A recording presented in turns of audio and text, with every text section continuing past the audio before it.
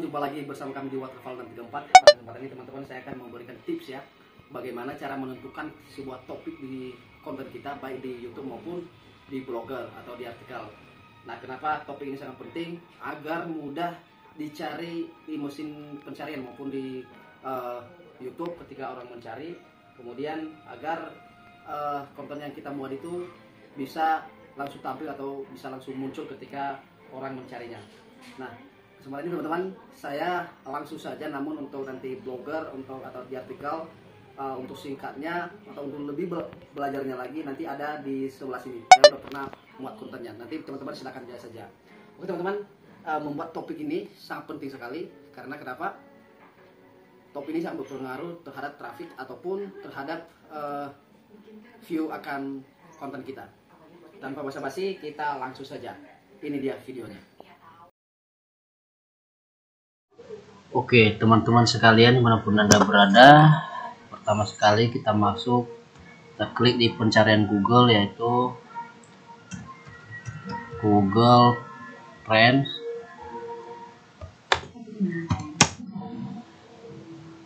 Tunggu sampai loading.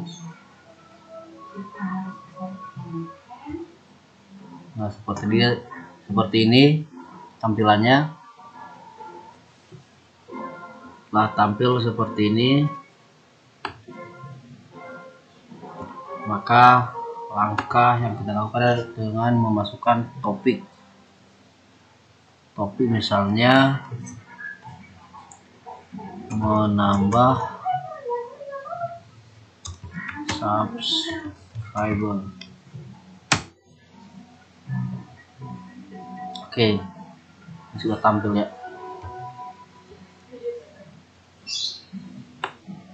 kita bandingkan dengan kita memberikan kata-kata lain atau topik lain. Nanti kita pilih yang mana lebih banyak. Cara menambah subscriber. Oke. Nah, kita tambah lagi tambah pembandingnya menambah subscriber secara alami.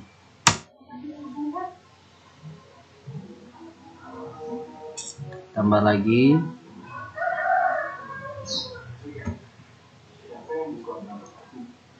Subscriber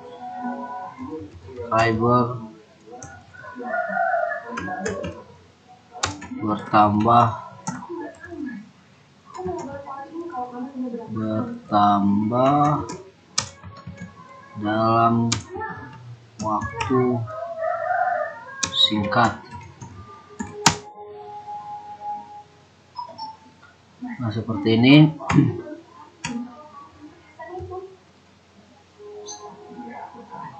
Teman-teman bisa lihat ini ada yang warna biru warna merah warna orange ini warna hijau. Nah di sini juga di grafiknya ada warna biru.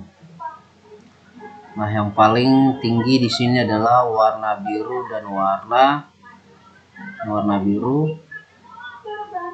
Kemudian warna merah. Warna merah.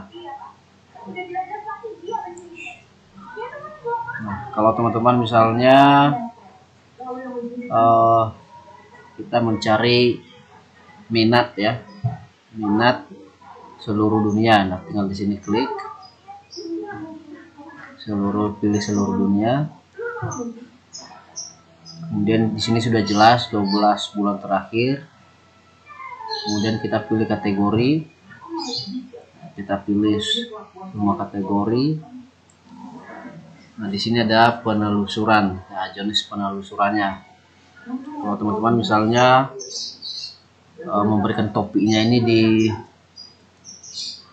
YouTube maka lihat penelusuran YouTube yang paling bawah.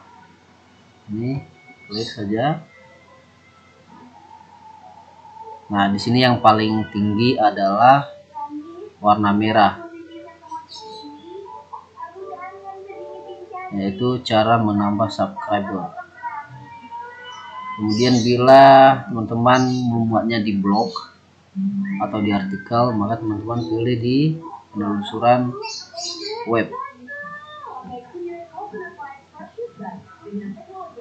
Nah yang paling tinggi adalah warna biru. Itu menambah subscriber. Nah setelah itu teman-teman apabila nanti membuat sebuah konten kemudian mengisi uh, topiknya atau judulnya maka seperti yang saya kata, katakan tadi bila di blog atau di artikel atau di WordPress masa maka masukkan uh, nama ini. Menambah subscriber. Jika isinya eh, cara-cara uh, menambah subscriber.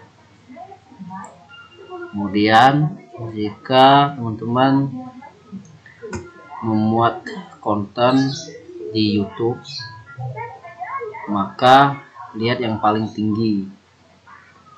Itu paling tingginya adalah warna merah. Warna merah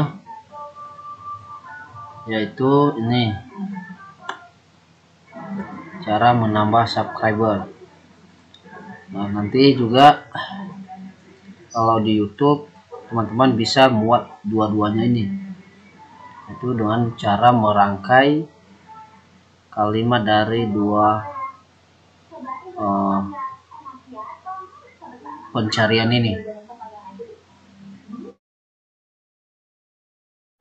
Nah, teman-teman, kalau untuk pencarian di uh, memberikan topik ya di Google ataupun di konten kita di YouTube maupun di artikel lain.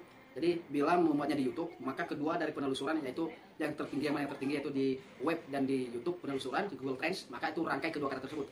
Namun ketika di artikel cukup satu kali aja yaitu di penelusuran web. Caranya seperti ini.